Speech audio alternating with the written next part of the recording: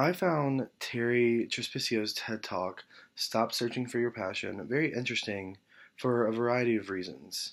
Trespicio is a woman who has had a career full of different experiences and challenges and has found success in many of them.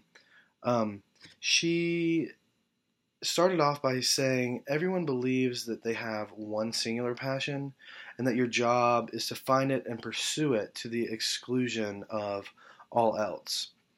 And that if you do that, everything will fall into place.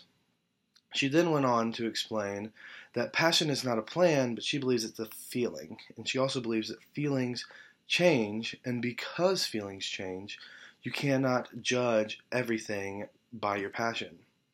She asserts that people who try to fit everything that they want in life into a passion window are not realistic and should focus on things that are presented to them, even if they're not necessarily passionate about those things.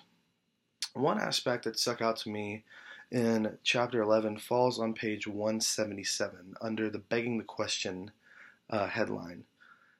Begging the question is when an answer or definition seems plausible, but on closer examination assumes as fact that which is not proved.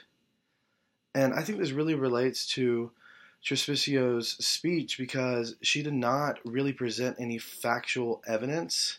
In her speech, she provided some interesting examples about her and her jewelry business and things that her mom had said, and that related related to her own life, but it didn't really relate um, to it wasn't applicable for everybody.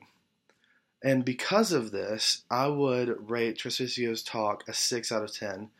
I do believe it was interesting to hear about her passion and success in her own life. But like I said, I just don't think it's applicable for everybody. And I don't really agree with all of her arguments. I do believe that some opportunities that are in front of you, you have to take them for whatever reason. It might just be the, whether the money or you know you need a job or whatever the reason is. Um, you know you ha- you do have to jump on some opportunities that are in front of you, but I'm also a person that believes that while you're doing those, you should never stop chasing your passion. And she says that um, whatever is right in front of you, you should just take. I believe that you should give great attention to those and great detail, but I don't. I should. Also, I also believe that you should continue to pursue your passions on the side and not give up the your passions because I think you should always be looking forward towards those.